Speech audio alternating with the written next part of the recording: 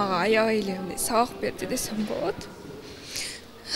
Анткени алар аябай кыйналып окушуп ошонун баарына аракет кылып атышат. А бизге мындай биздин өзүбүздүн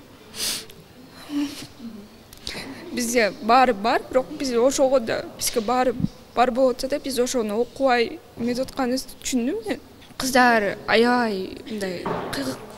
кыйналып жатышса дагы алар кыйналганына карабай окууга барып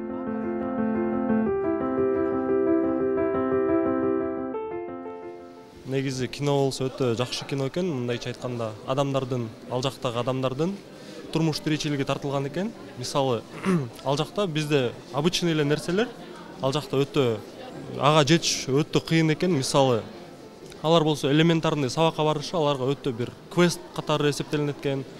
алар болсо мындай паранжа кийип туруп өзүн катып барыш керек экен анан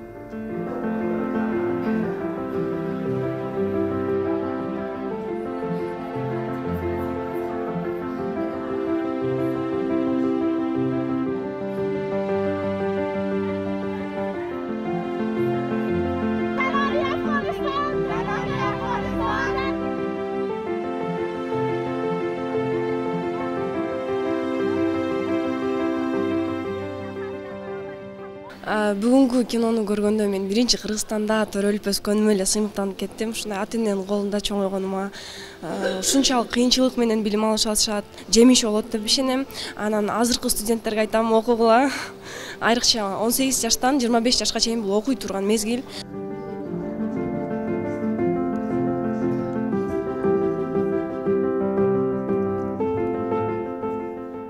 биз эркектерге каршы эмеспиз бул деген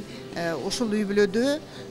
мынакей жаш балдар үй бүлөлүү болот кандайча кызын тарбиялайт ал кызы чыныгы адам болуп инсан болуп ата энесине мээримин төгүп жетишкен адам болобу же ошол басмырланган бойдон бирөөнүн кулу болуп калабы деген маселе болуп атат да